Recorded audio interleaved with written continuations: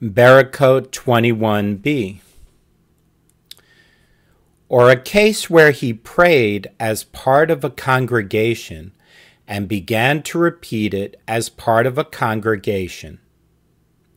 However, in a case where he initially prayed by himself and subsequently joined the congregation at the venue where it was praying, we might have said that an individual, vis vis the congregation, is considered as one who has not prayed. Therefore, he taught us that in this case, too, one may not repeat the prayer. And, on the other hand, if he had taught us here only with regard to one who entered a synagogue, we would have thought that the reason he may not pray again is because he did not yet begin to recite the prayer. But there, in the case where he already began to recite the prayer, say that this is not the case, that he may continue to repeat the prayer. Therefore, both statements are necessary. Rav Huna said, One who did not yet pray and enters a synagogue and found that the congregation is in the midst of reciting the Amida prayer. If he is able to begin and complete his own prayer before the prayer leader reaches the blessing of thanksgiving, Modim, he should begin to pray, and if not, he should not begin to pray. Rabbi Yehoshua ben Levi said, if he is able to begin and complete his prayer before the prayer leader reaches sanctification, Kedusha, then he should begin to pray. If not, then he should not begin to pray. The Gemara clarifies with regard to what did they disagree. The basis for their dispute is that one sage, Rav Huna, holds an individual is permitted to recite Kedusha on his own. So he need not insist on reciting it along with the prayer leader. And the other sage, Rabbi Yehoshua ben Levi, holds that an individual may not recite Kedusha alone. And, therefore, he is required to complete his prayer before the communal prayer leader reaches Kedusha. Similarly, Rav Ada bar Ahava stated, in accordance with the second opinion, from where is it derived that an individual may not recite Kedusha alone? As it is stated, And I shall be hallowed among the children of Israel. Leviticus 22, verse 32. And any expression of sanctity may not be recited in a quorum of fewer than ten men.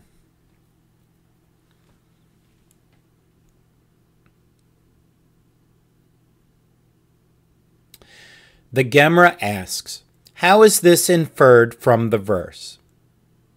The Gemara responds, This must be understood in light of a Baraita, which was taught by Rabbani, the brother of Rabbi Hiyya bar Abba. It is inferred by means of a verbal analogy, Gezerah Shava, between the words among, among. Here it is written, And I shall be hallowed among the children of Israel. And there regarding Korah's congregation, it is written, Separate yourselves from among this congregation. Numbers 16:21. Just as there among connotes 10, so too here among connotes 10 the connotation of ten associated with the word among written in the portion of Korah is, in turn, derived by means of another verbal analogy between the word congregation written there and the word congregation written in reference to the ten spies who slandered Eretz Yisrael. How long shall I bear with this evil congregation? Numbers 14:27. Consequently, among the congregation there must be at least 10. And in any case, everyone agrees that one may not interrupt his prayer in order to respond to Kedusha. However, a dilemma was raised before the sages of the yeshiva. What is the ruling? Is one permitted to interrupt his prayer in order to recite, May his great name be blessed, in Kaddish? When Rav Dimi came from Eretz Yisrael to Babylonia, he said, Rabbi Yehuda and Rabbi Shimon, disciples of Rabbi Yohanan, said, One may not interrupt his prayer for anything, except for, May his great name be blessed, as even if one was engaged in the exalted study of the act of the divine chariot, Ma'ase Merkava. See Ezekiel 1. He stops to recite it. However, the Gemara concludes the halakha is not in accordance with his opinion. We learned in the Mishnah that Rabbi Yehuda says, with regard to one who experiences a seminal emission, he recites a blessing beforehand and afterward in both the case of Shema and in the case of food. The Gemara asks, is that to say that Rabbi Yehuda holds that one who experienced a seminal emission is permitted to engage in matters of Torah? Didn't Rabbi Yehoshua ben Levi say, From where in the Torah is it derived that one who experiences a seminal emission is prohibited from engaging in matters of Torah? As it is stated, just take heed and guard your soul diligently, lest you forget the things your eyes have seen, and lest they depart from your heart for all the days of your life, and you shall impart them to your children and your children's children. Deuteronomy chapter 4, verse 9. From which we derive among other things, the obligation to study Torah. And juxtaposed to it is the verse, the day that you stood before the Lord your God at Horeb. Deuteronomy chapter 4 verse 10. This juxt- juxtaposition teaches us that just as below, at the revelation at Mount Sinai, those who experienced a seminal emission were prohibited and were commanded to refrain from relations with their wives and immerse themselves. So, too, here, throughout the generations, those who experience a seminal emission are prohibited from engaging in Torah study.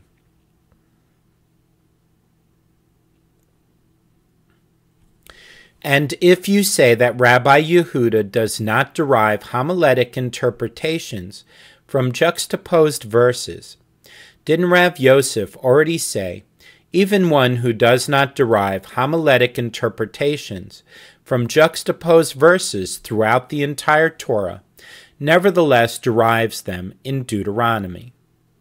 Mishneh Torah, as Rabbi Yehuda does not derive homiletic interpretations from juxtaposed verses throughout the entire Torah, and he does derive them in Mishneh Torah.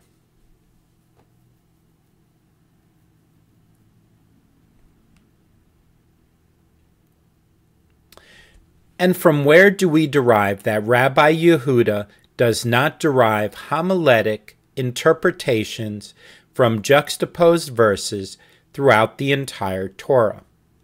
As it was taught in a Baraita with regard to the punishment of a sorceress. Ben Azai says, It is stated, You shall not allow a sorceress to live. Exodus 22 17. Although the manner of her execution is not specified, and it is stated, Whoever lies with a beast shall surely be put to death. Exodus 22:18 The fact that the Torah juxtaposed this matter to that was to say just as one who lies with a beast is executed by stoning. See Leviticus 20. So too a sorceress is executed by stoning. With regard to this proof, Rabbi Yehuda said to him, And does the fact that the Torah juxtaposed this matter to that warrant taking this person out to be stoned? Should he be sentenced to the most severe death of the death penalties on that basis? Rather, the sources, mediums and wizards were included among all sorcerers. And why were they singled out from the rest? In the verse, and a man or a woman who is a medium or a wizard shall surely be put to death. They shall stone them with stones, their blood is upon them. Leviticus chapter 20, verse 27. In order to draw an analogy to them and say to you, just as a medium and a wizard are executed by stoning, so too is a sorceress executed by stoning. And from where do we derive that Rabbi Yehuda derives homiletic interpretations from juxtaposed verses in Mishnah Torah, as it was taught in another Baraita. Rabbi Eliezer said that a man may wed a woman raped by his father and one seduced by his father, a woman raped by his son and one seduced by his son.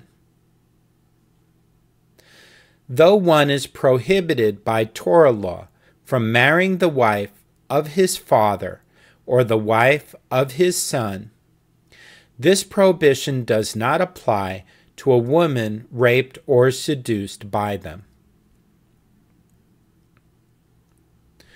And Rabbi Yehuda prohibits him from marrying a woman raped by his father and a woman seduced by his father.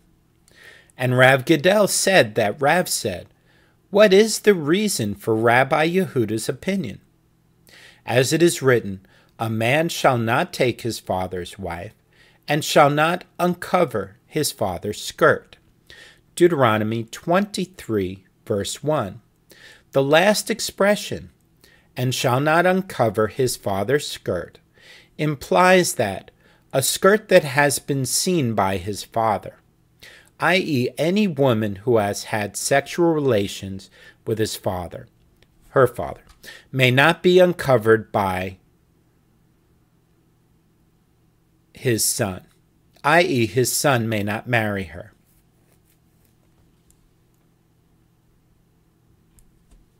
And from where do we know that the verse is written with regard to a woman raped by his father, and the previous section juxtaposed to it deals with the laws of rape, and the man who lay with her must give her father fifty shekels because he has violated her.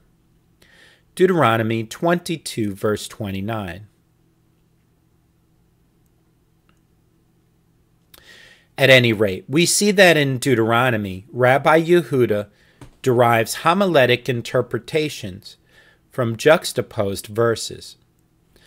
Why does he fail to derive that one who experiences a seminal emission is prohibited from engaging in matters of Torah from the juxtaposition of, juxtaposition of the verses? They replied, Indeed, in Mishnah Torah, Rabbi Yehuda does derive homiletic interpretations from the juxtaposition of verses, but he requires the, these juxtaposed verses in order to derive another statement of Rabbi Yehoshua ben Levi. As Rabbi Yehoshua ben Levi said, one who teaches his son Torah. The verse ascribes to him credit as if he received the Torah from Mount Horeb. As it is stated, and you shall impart them to your children and your children's children. Deuteronomy chapter 4, verse 9. After which it is written, The day that you stood before the Lord your God at Horeb. Therefore, Rabbi Yehuda cannot derive from that same juxtaposition a prohibition banning one who experienced a seminal emission from engaging in matters of Torah.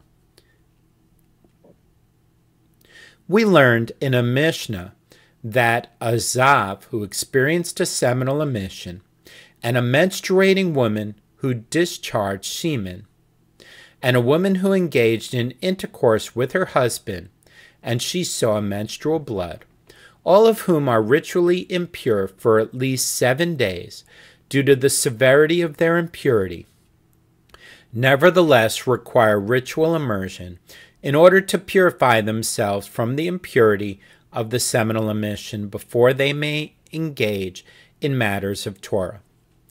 And Rabbi Yehuda exempts them from immersion.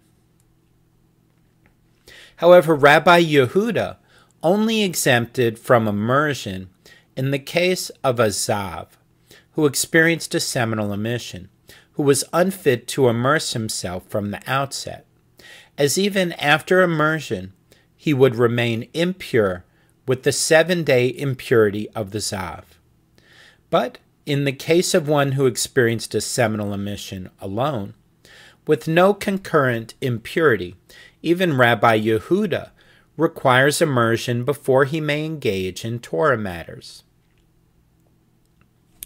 And if you say, the same is true even in the case of one who experienced a seminal emission alone, that Rabbi Yehuda also exempts him from immersion, and the fact that they disagree in the case of a Zav who experienced a seminal emission and not in the case of a person who experienced a seminal emission alone is in order to convey the far reaching nature of the opinion of the rabbis, who require immersion even in this case. If so, say the last case of that same Mishnah. A woman who was engaged in intercourse and she saw menstrual blood requires immersion. The Gemara seeks to clarify, in accordance with whose opinion was this case in the Mishnah taught. If you say that it is in accordance with the opinion of the rabbis, that is obvious. If in the case of a Zav, who experienced a seminal emission, who was unfit to immerse himself from the outset, when he experienced the seminal emission, the rabbis nevertheless require immersion. All the more so wouldn't they require immersion for a woman who engaged in intercourse and only then saw blood. Who was fit to immerse herself from the outset when she came into contact with the seminal emission of her husband.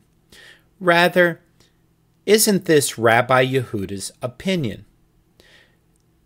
And this case was taught specifically in order to teach that a woman who engaged in intercourse and saw menstrual blood is not required to immerse herself.